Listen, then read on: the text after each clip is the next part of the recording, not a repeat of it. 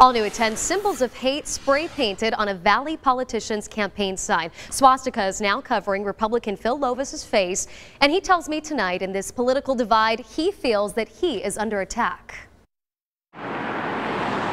It's a busy intersection in Peoria, 79th Avenue and Thunderbird, a great spot to get lots of eyes on your campaign sign. But candidate Phil Lovas wasn't expecting this. Somebody put swastikas on my face and his, and it's absolutely sickening. Swastikas covering Lovas and President Trump's face just days after the sign was hung.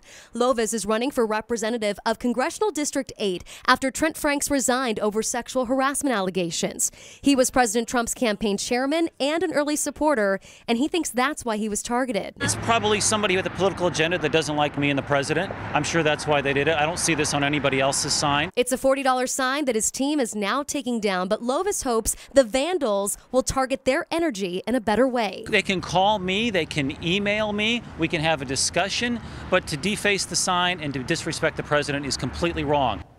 Lovas says he hopes this doesn't happen to any of his fellow Republicans or any Democrats. The primaries for Congressional District 8 are on February 27th.